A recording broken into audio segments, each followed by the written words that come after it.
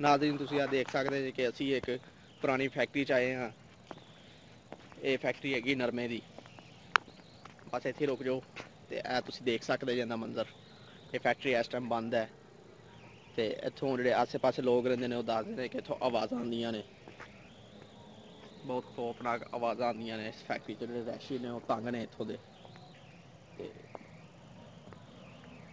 ਇਸ ਕੋਲ ਅਸੀਂ ਵੀ ਦੇਖਣ ਆਏ ਹਾਂ ਕਿ ਇੱਥੇ ਕੀ ਸ਼ੈ ਹੈ। ਅੱਜ ਅਸੀਂ ਦੇਖਨੇ ਆ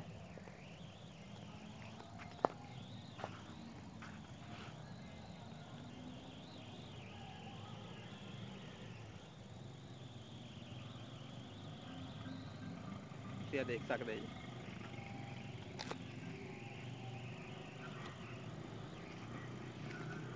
ਆ ਜਾਓ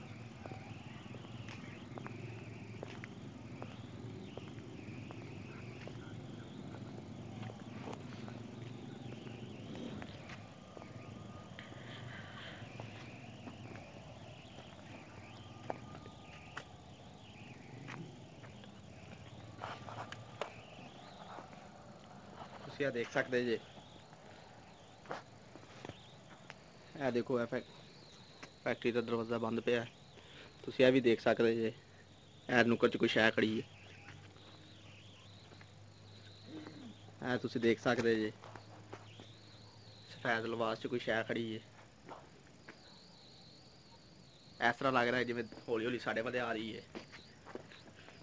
ਤੁਸੀਂ ਇਹ ਦੇਖ ਸਕਦੇ ਜੇ। ਅਸੀਂ ਇੱਥੇ ਰੋਕ ਨਹੀਂ ਸਕਦੇ।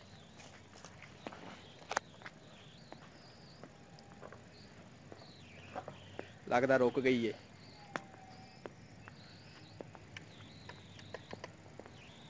ਤੁਸੀਂ ਉਹ ਦੇਖ ਸਕਦੇ ਸ਼ਾਇਦ ਹਜੇ ਵੀ ਖੜੀ ਹੈ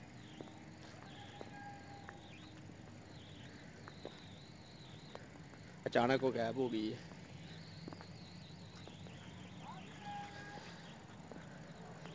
ਤੁਸੀਂ ਦੇਖ ਸਕਦੇ ਹੋ ਪੁਰਾਣੀ ਇਮਾਰਤ ਹੈ ਚਲੋ ਜੀ, ਇੱਧਰ ਅੱਗੇ ਆ ਜਾਓ। ਇਹ ਪੈਪ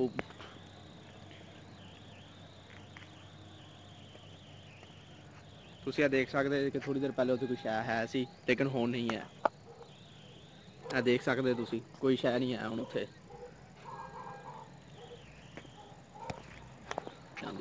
ਤੁਸੀਂ ਇਹ ਦੇਖ ਸਕਦੇ ਨਾਜ਼ਰੀਨ ਕਿ ਪੁਰਾਣੀ ਫੈਕਟਰੀ ਹੁਣੇ ਬੰਦ ਪਈ ਹੈ ਨਰਮੇ ਦੀ ਫੈਕਟਰੀ ਸੀ ਇਹ। ਸਹੀ ਨਜ਼ਰ ਨਹੀਂ ਆ ਰਿਹਾ, ਇੱਥੇ ਅੰਧੇਰਾ ਬਹੁਤ ਹੈ, ਲੇਕਿਨ ਅਸੀਂ ਫਿਰ ਵੀ ਤੁਹਾਨੂੰ ਦਿਖਾ ਰਹੇ ਹਾਂ, ਜਿੰਨੀ ਕਿ ਸਾਡੇ ਕੋਲ ਸਹੂਲਤ ਹੈ ਟਾਰਚ ਦੀ। ਤੁਸੀਂ ਉਹ ਦੇਖ ਸਕਦੇ ਜੇ ਕਿ ਫਿਰ ਕੋਈ ਸ਼ਾਇਦ ਜਿਵੇਂ ਸਫੈਦ ਕਲਰ ਦੀ ਕੋਈ ਸ਼ਾਇਦ ਟੁਰੀ ਜਾਂਦੀ ਏ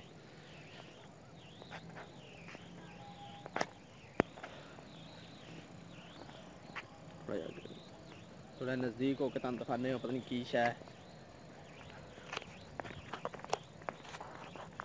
ਅਸੀਂ ਉਹਦੇ ਮਗਰ ਮਗਰ ਜਾ ਰਹੇ ਹਾਂ, ਲੇਕਿਨ ਉਹ ਸ਼ਹਿਰ ਰੋਕ ਨਹੀਂ ਰਹੀ ਜਿਹੜੀ ਵੀ ਹੈ।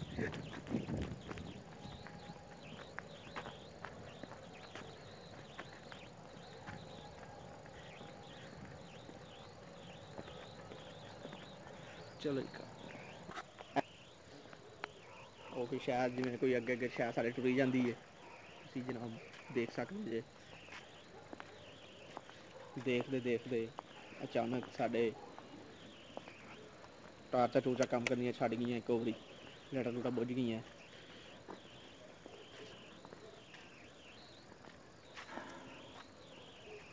ਤੁਸੀਂ ਦੇਖ ਸਕਦੇ ਜੀ।